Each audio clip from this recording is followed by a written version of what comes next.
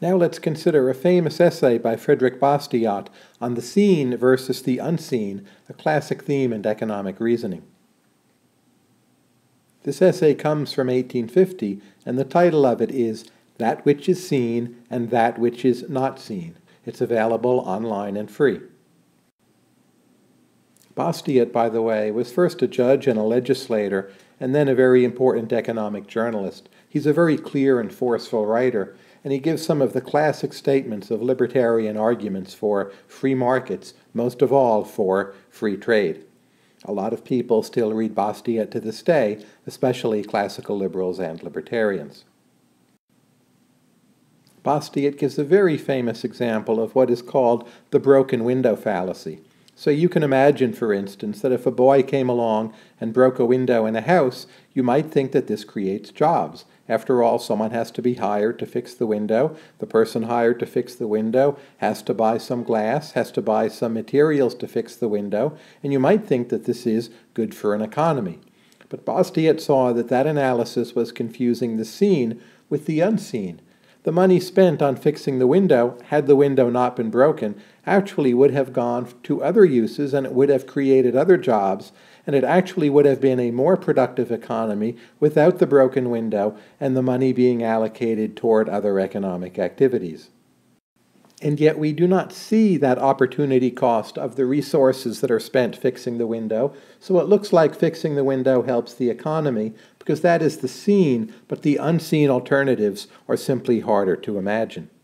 By the way, you may be familiar with Keynes's argument that actually destroying economic output can help an economy by stimulating economic activity. This doesn't actually refute Bastiat. There's still a good deal of evidence that even if government spending sometimes helps an economy, it's a bigger boost when the money is spent on productive goods and services rather than on, say, breaking windows.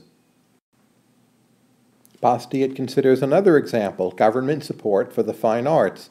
Everyone can see that government support leads to more opera companies, leads to more open theaters, leads to more concerts, and many other activities.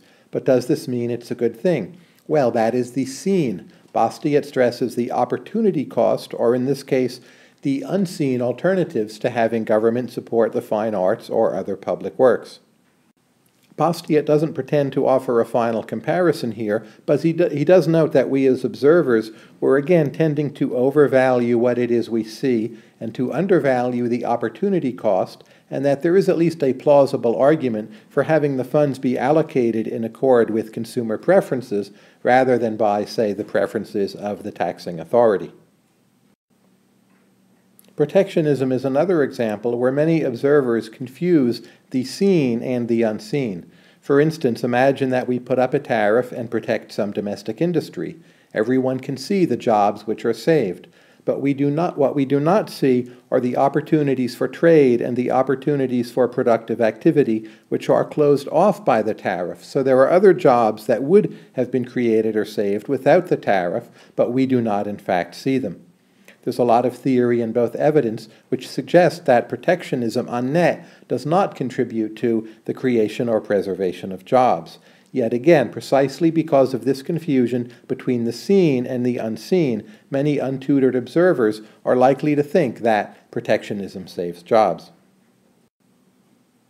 Bastiat was very good at taking a core principle and applying it to a lot of different examples. So he also talked about machinery. You might think that machines put laborers out of work, and indeed you will see that many machines do displace many particular laborers. In modern times, for instance, when the automobile comes along, the people who used to drive horses and buggies have lost their jobs.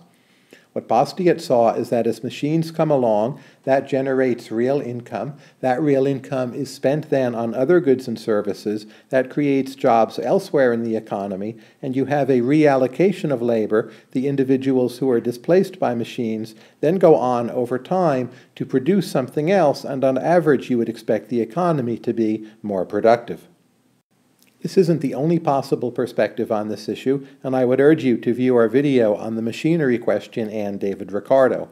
Still, nonetheless, Bastiat made a very clear and forceful case for the notion that the advent of machinery was in the best interests of the economy as a whole and also workers.